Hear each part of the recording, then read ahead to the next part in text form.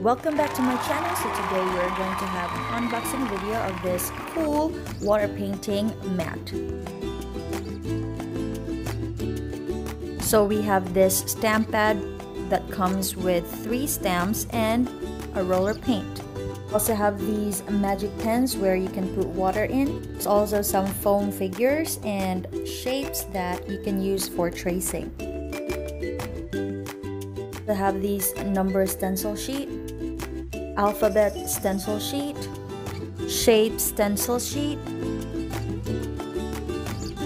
We also have this book as a guide on how to draw.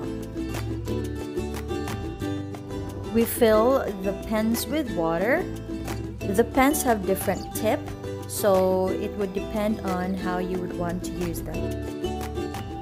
Just also add some water in this stamp pad. Put this in the tray for easier access. Then it's time to doodle! The mat actually has an underwater picture. So when it gets wet, your drawings actually has some color. And it also has some alphabet letters. What I like about this is it is lightweight so you can bring it anywhere and it is mess free.